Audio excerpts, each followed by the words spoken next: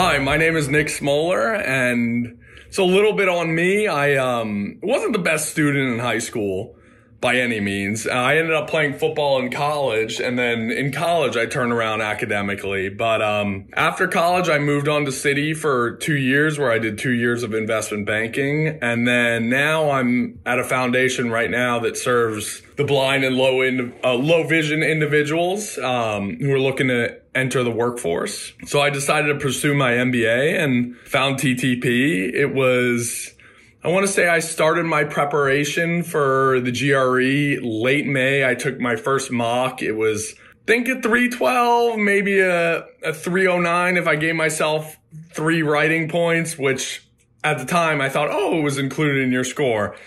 Then my last GRE, I took a 327, although I was scoring higher on the practice, maybe some test day anxiety.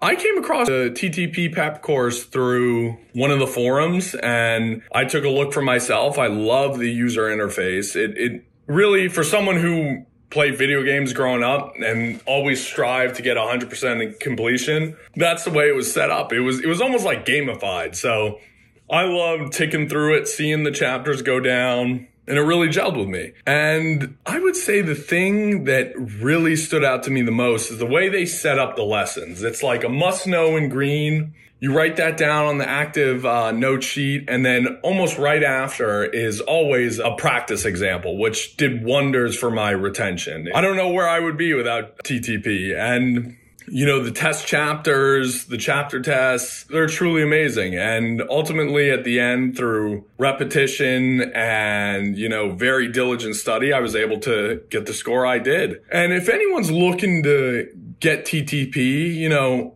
as much as it is magic, you need to put in the effort. And it's, it's really, you get in what you put out and, um, minutes, hours. If you take any time off, you're only robbing yourself while you're studying. You always need to be engaged and ultimately you, you do, it works if you work it and it, it brought me to where I am now.